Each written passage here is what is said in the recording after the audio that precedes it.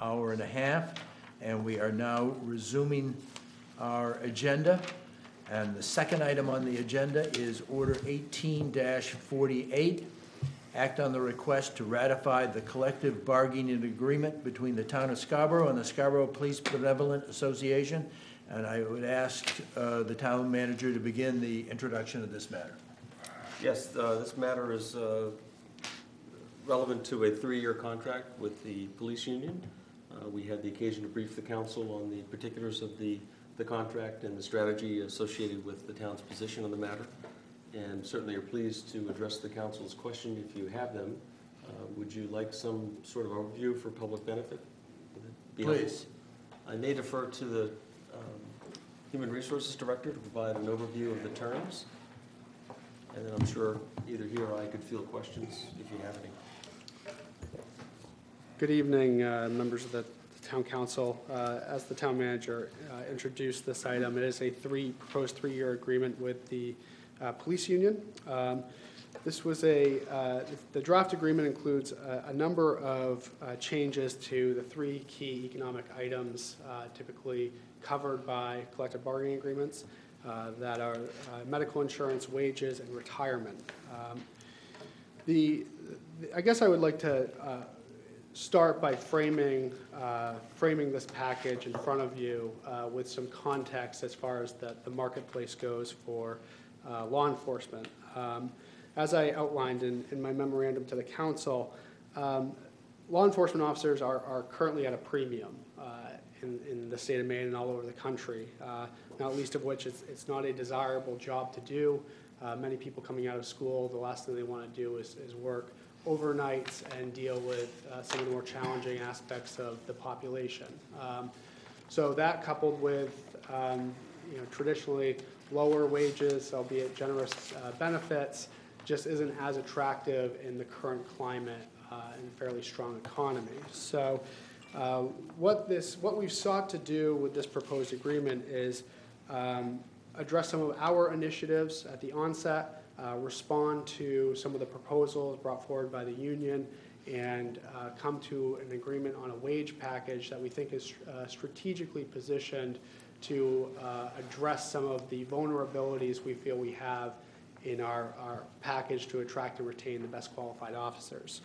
Um, So just a high-level overview, uh, our objective with regard to medical insurance was certainly to achieve some uh, budgetary savings over the course of the agreement.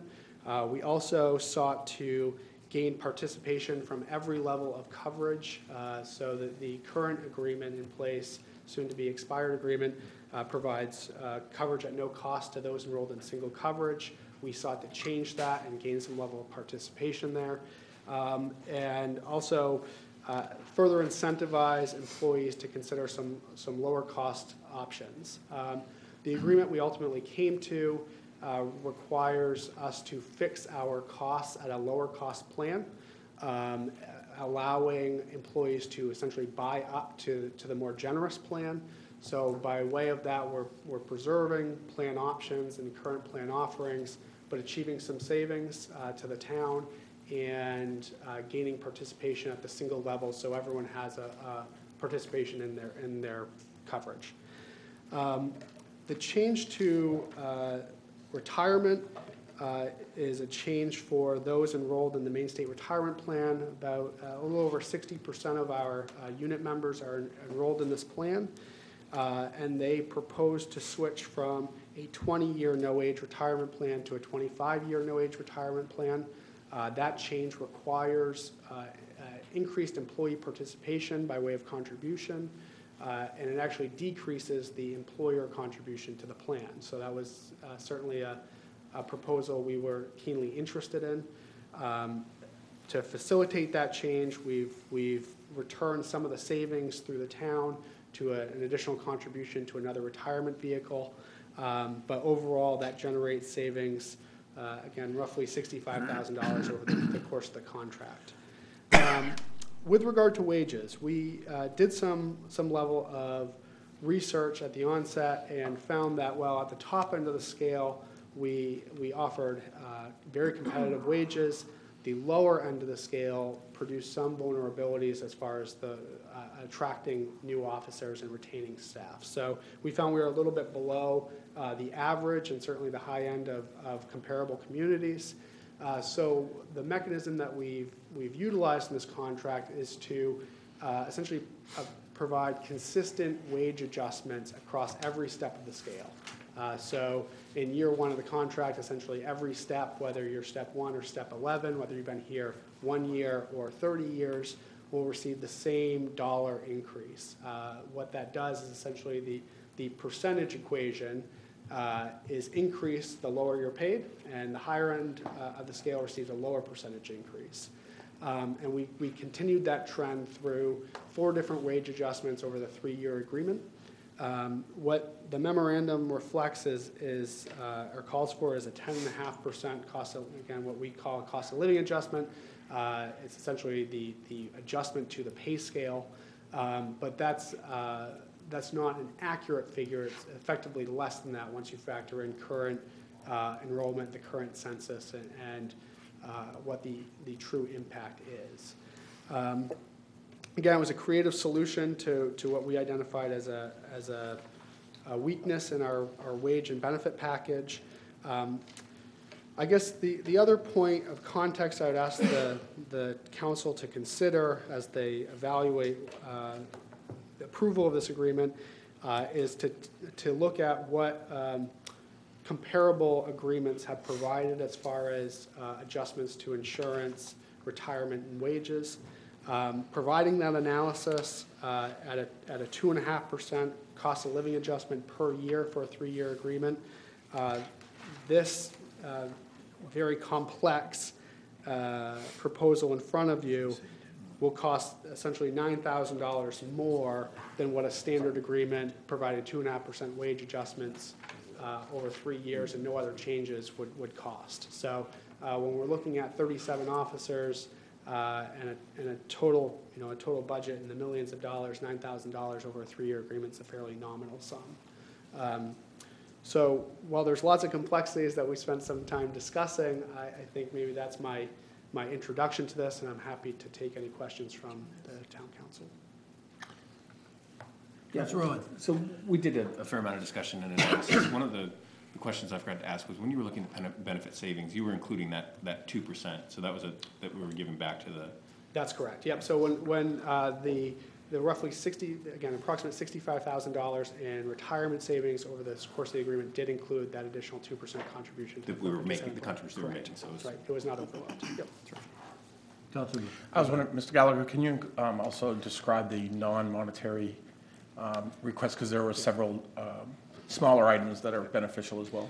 Yep, so, uh, and I apologize for that. So the, uh, the other items in there, uh, there was a request to clarify under uh, the retirement article, which we actually ended up including in, in the medical insurance article, was that when employees reach their, uh, their retiree eligibility under their, um, whatever retirement plan they're enrolled in, they could continue on medical insurance in retirement under the current, on the town's uh, plan.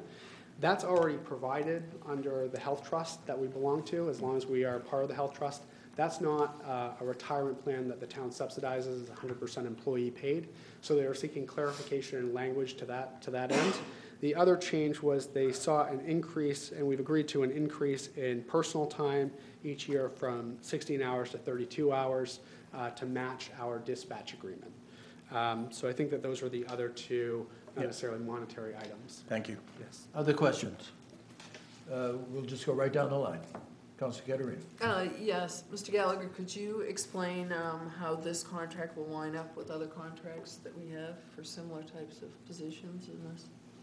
So we have uh, three collective bargaining groups in town. We have a fire group that uh, ratified an agreement last year. Uh, That included a slightly different wage package. Certainly, it wasn't the, uh, as targeted and strategic as, as this package. It was a more of a standard cost of living adjustment applied to every step of the scale.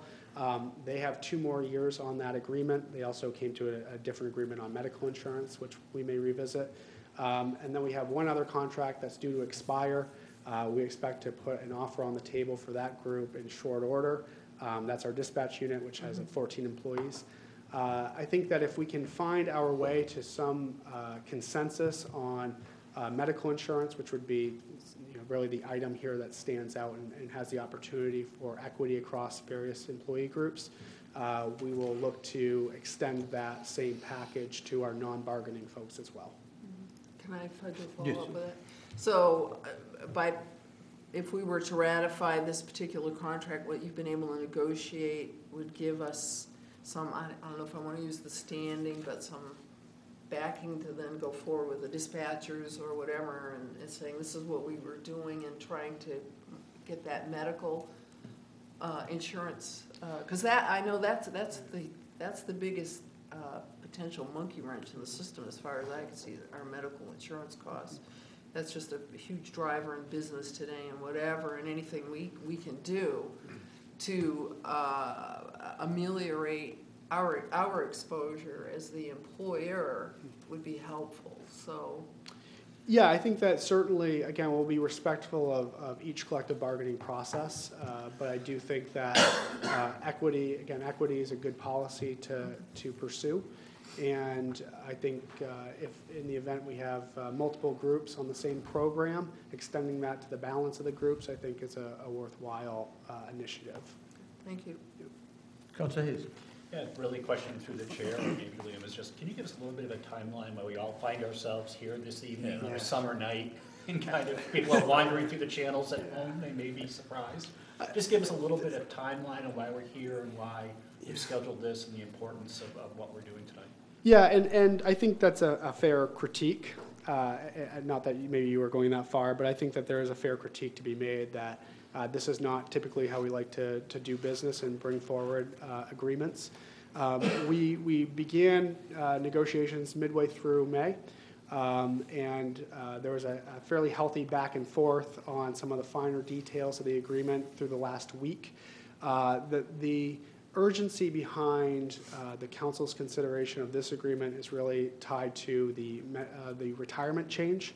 Uh, It's a change that, again, we forecast some uh, uh, relatively significant savings, uh, and it's a change that can only be made on a fiscal or calendar year basis. So in the event this agreement is not ratified this evening, we would have to wait until January 1st to make that change, and as it's a, an item brought forward by the union, that may have an impact on some of the other items that we've come to a tentative agreement on. So um, to to echo the town manager's uh, initial insight, I think that we really felt like we had an obligation to, to advance this, this tentative agreement to the council for uh, discussion and, and find out whether that's a worthwhile proposition and, and whether there's a comfort level on such short notice.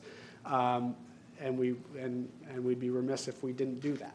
Um, so that's really the, the rationale behind such an expedited timeline. Again, it's not one that uh, I would have any comfort level becoming a trend or pattern, um, and, and certainly should not become an expectation of this council to receive and evaluate uh, collective bargaining agreements. Thank you. Chris? Um, you- Could, could you describe the nature of the negotiations in terms of were they, uh, you know, um, amiable, amicable, and, and maybe a little bit of history too of the, uh, the nature of the relationships between the, the town and the, uh, the union organization? Sure. Uh, So, so I think that uh, we, we met uh, for, for three or four different sessions. Uh, Again, I, I think it's, a- they're amicable discussions. I think that they're, um, you know, I think that, I think there's a high degree of respect on both sides. Uh, Not to say that we're all um, laughing and and patting each other on the back, because I think that there were some, again, there were some uh, changes to fundamental benefits and and compensation, which, um, you know, when we're talking to law enforcement officers, this is their livelihoods. So, um, you know, this town does have a, uh, you know, does have a very uh, positive history of labor relations. I think that that has yielded uh, benefits that maybe at times are hard to quantify. Uh, But uh, I think that that, that positive working relationship between the, the union and between administration and town administration, I think allows us to pursue a lot of the initiatives that we're able to pursue. Uh, You know, we don't have uh, members of our command staff bogged down with uh, endless grievances. Uh, I think that that allows them to focus on other things like some of our strategic ini- initiatives around uh, Operation Hope and things like that. Um, And so, again, I think that those things at- at times are, are tough to put in a spreadsheet, as we say, uh, but certainly are, are valuable and should not go unnoticed. Thank you. Other questions? Yeah, I Councilor was, I was just wondering, and you may not be prepared to, to answer, but could you speak at all to, um, just kind of the, this type of collective bargaining agreement in general, and, and, um, typically it has both the cost of living increase and a step function? Could you just talk at all about kind of the wisdom and the thinking behind such structures? and- And Yeah. the common, and how common that is? Yeah, so uh, in the public sector, you know, specifically, um, and I think probably, and again, Maine doesn't have a lot of large employers, but I I would expect that this would probably be true with some larger employers. Uh, They really have seniority-based pay systems and structures, um, where uh, time and grade is what advances you pay-wise. Uh, Cost of living adjustments theoretically are intended to keep up with inflation so that people don't go backwards. Um, you know, again, that this, this COLA, cost of living adjustment package in this agreement is certainly above inflation. Again, say nothing of the complexity of what we've actually done with the flat rate adjustments. Um, But the, the rationale is that your, your compensation advances with your time and grade and your seniority, and the cost of living adjustments ensures that you don't go backwards. Um, The tangible impact of that is that um, people don't just receive with a, with a step and grade system, they don't just receive that, you know, a, a a COLA as the only adjustment. Um, They may get a step, and again, the, the frequency of steps are all, can vary. Um, You know, sometimes you don't get a step but once every five years, other times you can get a step every year. Uh, The percentages between step increases can vary a great deal, Um, but those are all, uh, That, that's sort of the rationale. It's very common in school departments and teacher contracts and support staff contracts. Anytime, um, you know, you don't have a merit-based pay system. Um, You know, I'm happy to, again, just step, one step outside of the police contract, you know, the non-bargaining folks do have a, a merit-based pay component to their, their system. So um, that's not something that we're ready to advance with this group yet, uh, but perhaps there's an appetite in the future to consider something uh, in that same vein. Thank you. Yep. Other questions? Uh, uh, Just a couple of things that, that were brought to light uh, in the earlier session. The, uh, apparently, there were fewer issues on the table, that the opportunity to expedite this discussion from mid-May uh, was partially a result of uh, fewer issues than would potentially be uh, normally on the table. Yeah, yeah, I think that, um, to be fair, we really only brought forward uh, one objective, you know, which was some of those uh, meaningful changes to the medical insurance program. Uh, And to, to be, to give credit where credit's due, I think the union brought forward uh, only the proposals that they thought were uh, significant to them. Um, You know, that's not always the case. Uh, You know, I, I've personally participated in negotiations where, you know, we, each, each side has uh, proposals that number in the pages, um, and uh, there's a lot of minutia to it. And um, those are oftentimes the collective bargaining agreements that are 50 and 60 pages long, not, you know, the better part of 14 in this case. So, um, yeah, I think that was a reasonable list that they brought forward. They did not achieve everything they, they were looking to achieve, not to say it wasn't a credible opening offer. Um, But I think that, that, that, to your point, that did expedite the process to some degree. Just so the public will realize out there, the Appointments and Negotiations Committee has really taken on a greater role uh, uh, in the last year to look more carefully at and at least provide advice uh, to the negotiating team uh, here, led by Liam Gallagher, our HR director. Uh, And we did meet last month uh, with the uh, negotiating team to have the benefit of uh, that insight and our comments uh, in turn. Uh, uh, I must thank Liam and the town manager, uh, given the shortness of time uh, that uh, this came to fruition. They voted on Monday for this contract. Uh, And uh, July 1st was a triggering date that won't come again until January 1st for the insurance program that they're anxious to have enacted. Um, So there's some, uh, some, and some financial benefits for us.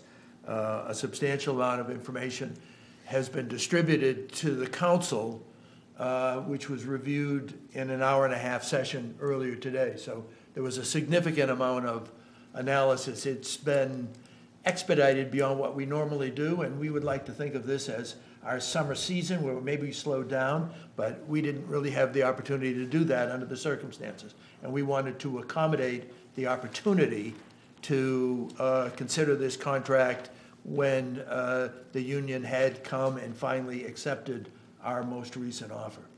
Uh, Thank you, Liam. Uh, Chief uh, Moulton is in the audience, and I'm going to ask him to comment further on uh, uh, his perspective.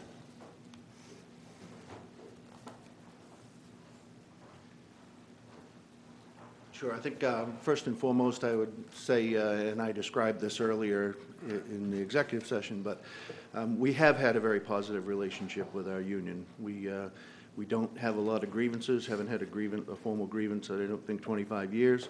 Um, We don't have a lot of citizen complaints. We don't spend a lot of time uh, fighting about things. So that's, uh, to me, that's worth a lot. And, um, and our folks, um, uh, to, not this past contract, but the one before that, they actually had uh, locked into a 3% raise, and they, uh, and they uh, voluntarily came forward, gave that up for a year uh, when the town was uh, struggling financially. And um, so that, that type of cooperation, to me, goes a long way. I've thought through this. I think it's, uh, I think it's a fair agreement for both sides. I think, it- you know, not all the membership was, was ready to jump on it. I think as the, as the chairman mentioned, the July 1st was a trigger, and I think that helped uh, to get the vote. Um, And I think it's a fair package. Thank you. Any questions of the chief?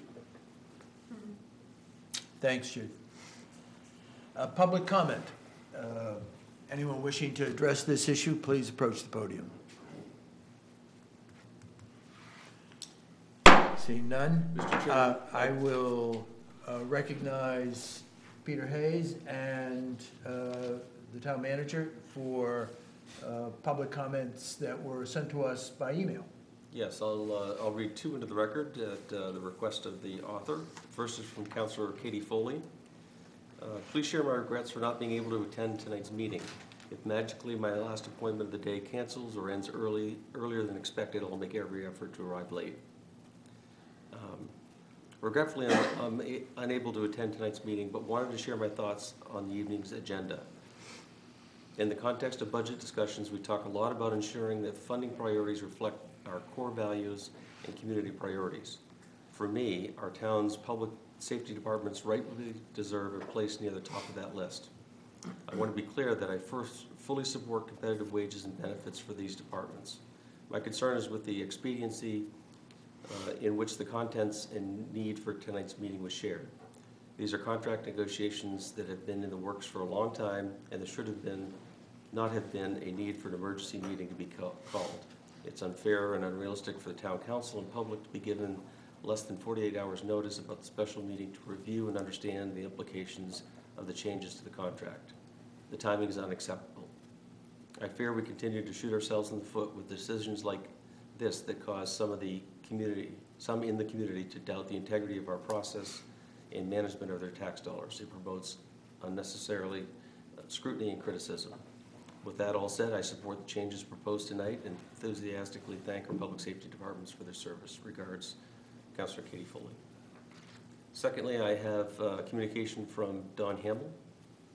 Dear uh, Town Council members and Town Manager, I want to express my profound dismay at the council's action to hold a special town council meeting this evening, including an executive session to review and approve the proposed settlement for the Scarborough Police Benevolent Association's collective bargaining agreement. The timing of this is questionable. There is no evidence of any effort by the town to educate or seek input from public on this settlement.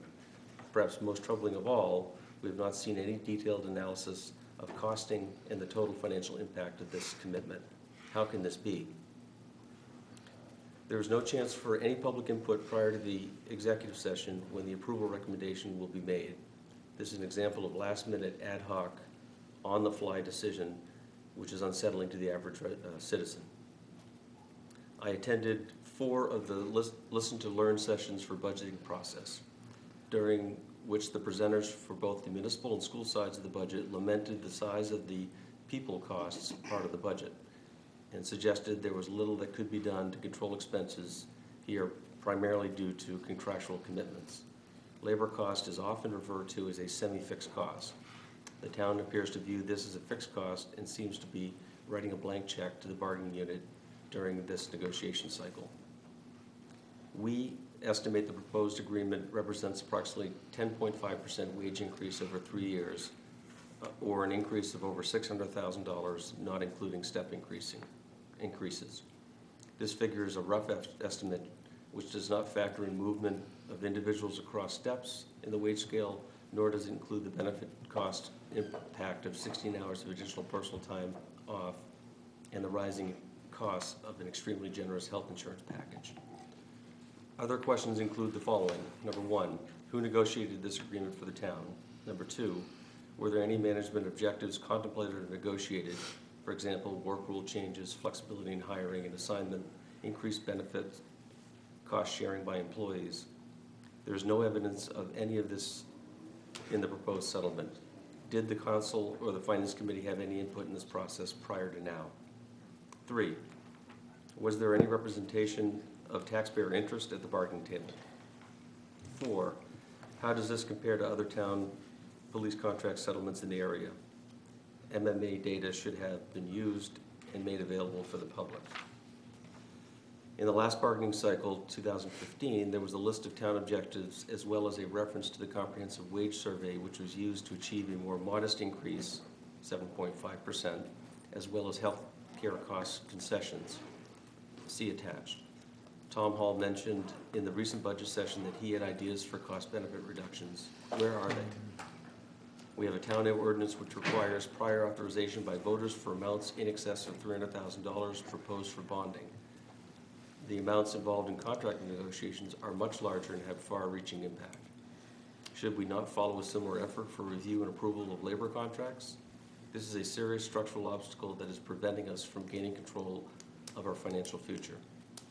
The town leadership has failed in its obligation to inform and notify citizens in a timely fashion of contract negotiations, plans, process, progress, and proposed settlement, as well as the financial impact and implications. Why can we not get out in front of such major issues like this? Until then, unfortunately, the public's trust and confidence in town leadership will continue to decline. Many thanks, Don Hamel, 3 Bay Street. Thank you. Uh, um, Accept the motion. Move approval. Second? Uh, Discussion. Start at this end, and I think everyone has some comments. so we'll Yeah, just- um, and I forgot to, uh, thinking that this was gonna be an easy night, I did not bring my computer, nor did I bring pen and paper, so hopefully I'll get everything in my head, um, out, um, in proper order. First, I, I would like to ask the chair, and maybe the manager, some of the information that was provided in that last letter, um, I believe was sent to us as council is listed as confidential, and I'd like to understand why a citizen would have those details, um, especially given that it's a collective bargaining agreement or uh, negotiations in which, until we ratify, we t- typically are supposed to keep that confidential amongst the council. So this information had to have been shared by somebody on this council. That's not appropriate. I'll ask the uh, town manager to look into that. I, I can say that for the public's consumption, we did provide contract highlights that provided some of the basic terms. Um, That's the only thing I could say in response to that inquiry. Um, I, I just know that the email that we, that we- we received, it said confidential on it, so I would be, that- that's why I'm asking. Um, I am in full support of this. When you think about what our public safety officials do, and that includes the fire department and what they're dealing with on a day-to-day basis, just outside of the, you know, uh, the dangers of their job as far as their own personal safety and the safety of the citizens, you think about the level of civility, or the lack of civility, and having the, you know, the right personality to be um, really good at their job. I think that what is being requested has a long-term advantage for this community, even though some of us may be a little bit challenged on the compensation side because it's a little bit above average. But I think if you look at the medical benefits or the, the change in medical plan as well as the change in the pension plan, it has longer, longer-term ramifications that's to our benefit. Um, So I am very much in support of this um, and think it's the right move. Thank you. Councilor Rowe? Yeah, I, I, I have similar sentiments. I also, um, ag- agree with the statement that Councilor Foley made in terms of, I wish that we had had more time, um, uh, and could have gotten more information out, but that's just, you know, the, the, uh, union only voted on, uh, Monday. Um, so it would have been difficult, and we have a July first deadline, so it would have been, um, so I understand where we are. Um, I also feel like, uh, the comments that, um, uh, the chief made regarding, um, you know, the professionalism of this union in particular, um, is just incre- incredible and speaks volumes. And the fact that they showed up, um, when the town, um, w- asked them, or didn't even ask them, showed up when, when they noticed that the town was in trouble and from a fiscal perspective, and gave up a year of raises, um, to, um, uh, to, to do their part to help out, I think speaks, speaks volumes in addition to the number of grievances that are down. I think it's, it's unfortunate that these large um, uh, labor contracts um, have a inflationary pressure on our, on our property tax, but I, don't, it seems to me to be a reflection of these labor contracts everywhere. When you look at police departments in the area, and um, the chief in the executive session listed several, and I'm, I would, um, I'm going to butcher what he told us, but it was South Portland is down five officers, Portland is, and Westbrook are down ten to fifteen. The- But uh, we are at full employment, we have all thirty-seven officers, is, is my understanding on, on staff. Um, But it, when, the last time we had an opening in the spring, we only had two applicants. Um, So I, I think that um, we need to be competitive. Um, I think that we have very high standards here in town, as is reflected by the professionalism of the individuals on the force. Um, And uh, I'm, I'm going to support this contract tonight. Thank you. Councilor Caterina? Uh, yeah, I'm gonna uh, take an unusual move and, and with the permission of the chair, I'm gonna read my response to Mr. Hamel that I sent out earlier today, because I think it will hopefully help to answer for people who heard what he, um, wrote here. Thanks for reaching out, Dawn. It is my understanding that collective bargaining is a confidential matter and does not include public input. I believe that is covered under fe- federal labor relations law. I could be wrong, but I have never seen the public represented directly at the table in this or any other collective bargaining by public employees.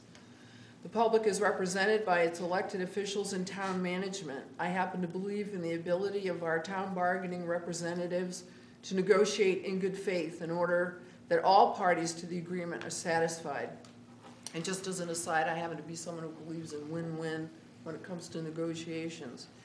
As you can imagine, I believe strongly in union representation and the collective bargaining process. I have confidence in this process and feel no need or desire to interfere in that process.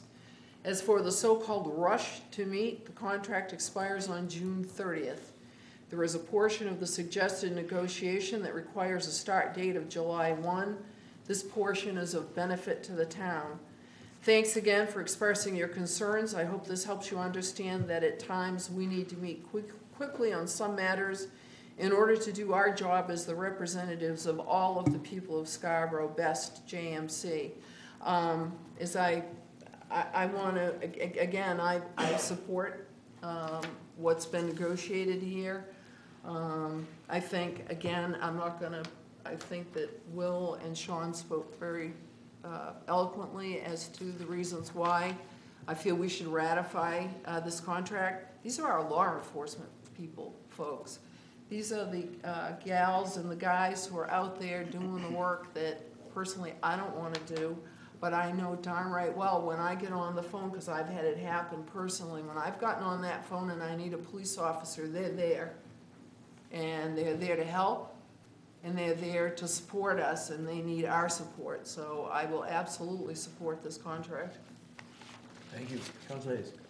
Yeah, I think I'll, I'll kind of echo what's been said. It's, it's kind of, it's kind of, I'm kind of torn in, in several different ways. One, absolutely, I spent a night riding in a police cruiser here about, a- uh, late in the fall and really realized what everybody does. It, it's, it, it is eye-opening. Um, I will just echo, though, I think, you know, especially with everything that's been going on this summer and, you know, this past season, that I, I ju- just, you know, as we go forward, I, you know, I think, you know, we talked a little bit tonight about the unusual circumstances why we find ourselves, but I do kind of echo, it's important to kind of follow our processes, build in enough time so that the appropriate committees have chances to weigh in on the front end and the back end, they appropriate committees can actually bring a recommendation forward. So, you know, some of these deadlines are known, so I just love us going forward to really be aware of what we need to do to be able to execute these things, make sure there's enough time, that they fit into our normal schedule, so that the public has an opportunity to at least know what's going on. So with that, I'll support it because I do think it's important and it's, it-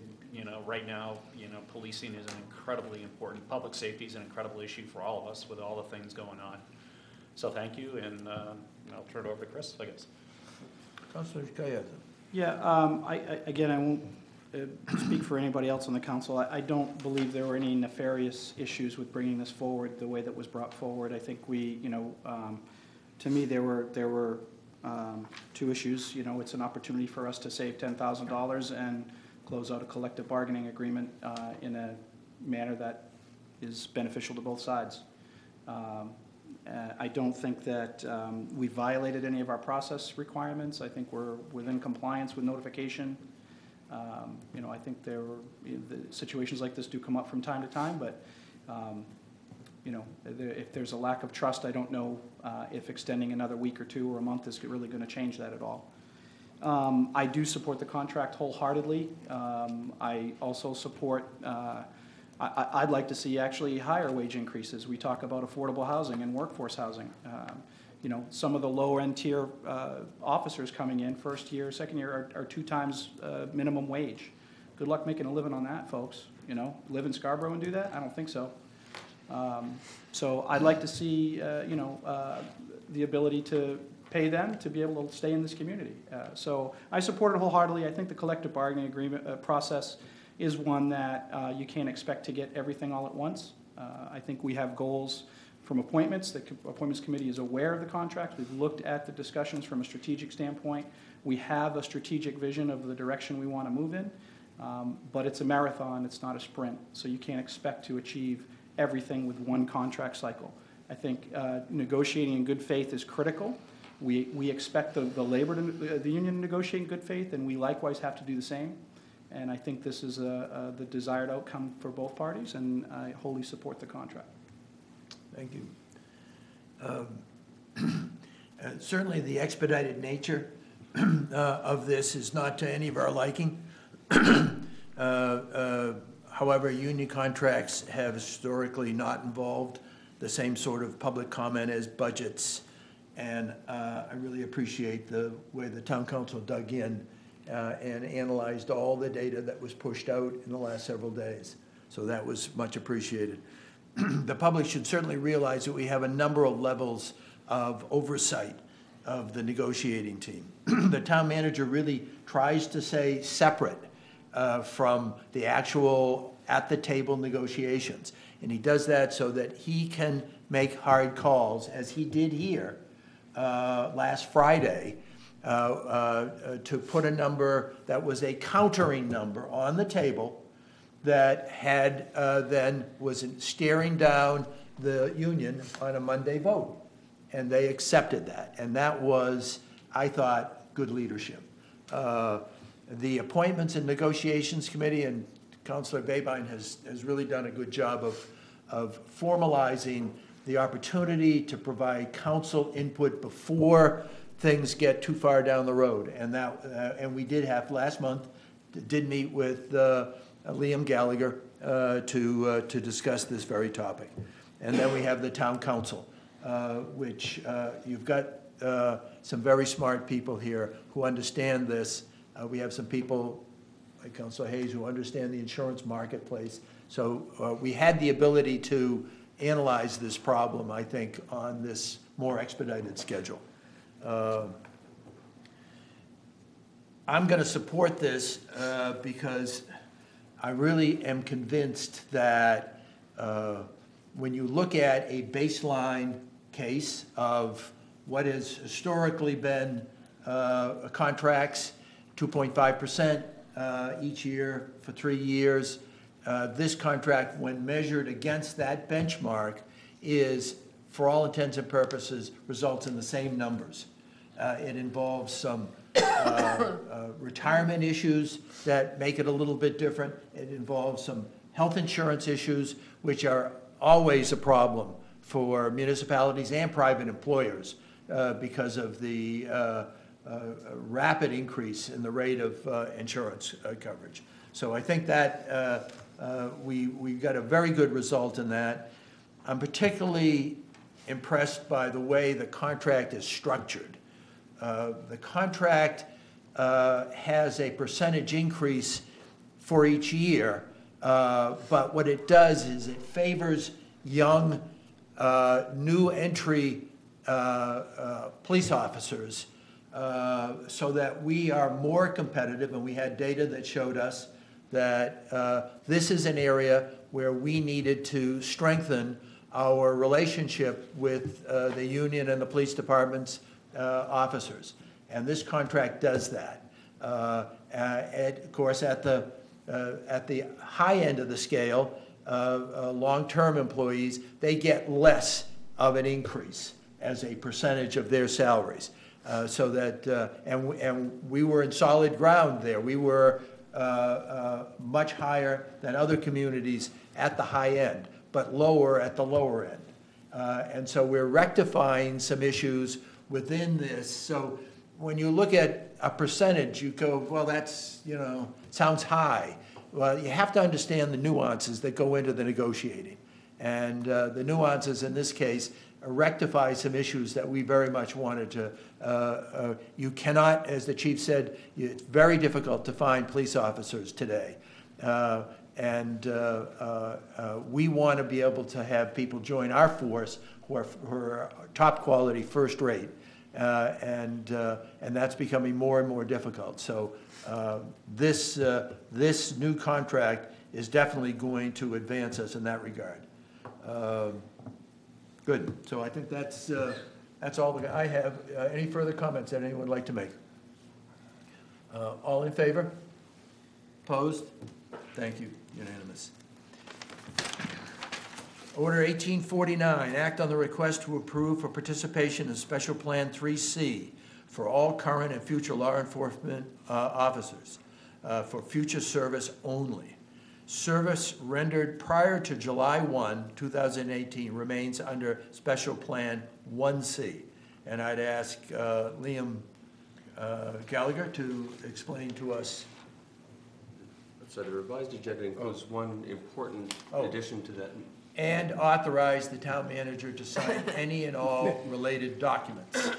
Liam, if you would uh, give us an introduction on this. Sure. Uh, So under the uh, Thank you. proposed agreement that was just uh, approved by the council, uh, it does include that uh, retirement change from uh, Plan 1C, it's a special plan through the Maine State Retirement System, uh, which is a 20-year, 50% of your average compensation, no age plan, to a 25-year, uh, uh, 66 and two-thirds uh, benefit, no age plan.